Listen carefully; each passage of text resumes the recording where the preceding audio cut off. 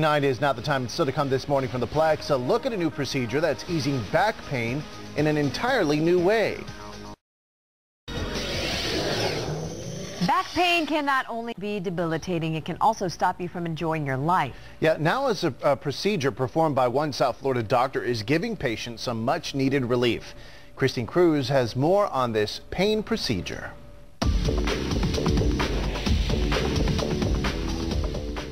38-year-old Lisette Castillo got no warning when back pain hit. Started off like shooting pains and then, you know, later it just developed, got worse to where it was, you know, really stabbing pains running down my leg.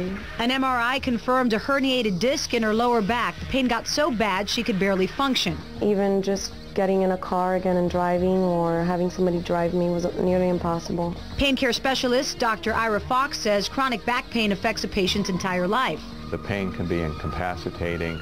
It can affect sleep patterns, personal relationships. Lisette tried everything from pain meds to physical therapy to an epidural injection, but nothing relieved the pain. They are not getting the relief they would have expected from an epidural injection because a scarring has taken place in the area of inflammation. To get past that scarring, Dr. Fox performed the Racz procedure on Lisette. Under local anesthesia, a catheter is inserted through the tailbone into the spine.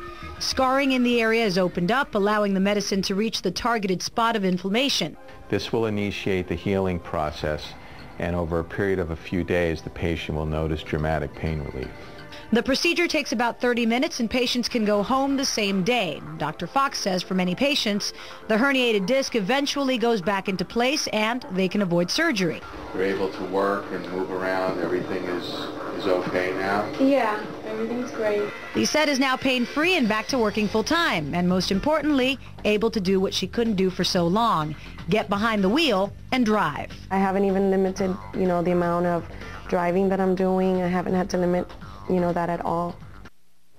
Well, patients are given physical therapy exercises to follow at home, and the good news is the procedure is covered by Medicare. For more information, log on to our website at WSVN.com and click on Medical. In the Plex, I'm Christine Cruz, 7 News.